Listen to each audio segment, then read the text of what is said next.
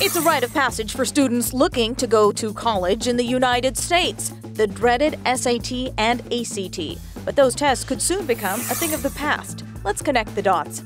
Standardized tests, at least when it comes to college admissions, have been falling out of favor in recent years, with more than 1,000 colleges and universities now making the tests optional.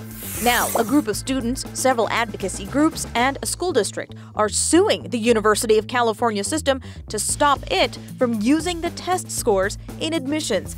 They say using the test discriminates against minority and low income high schoolers. In fact, they cite research showing a student's family income, race, and ethnicity has increasingly predicted how well they would do on the SAT and ACT. Here's the thing the California system is one of the largest and most well respected in the country. So, if they do away with these tests, it could spell the end of the SAT and ACT.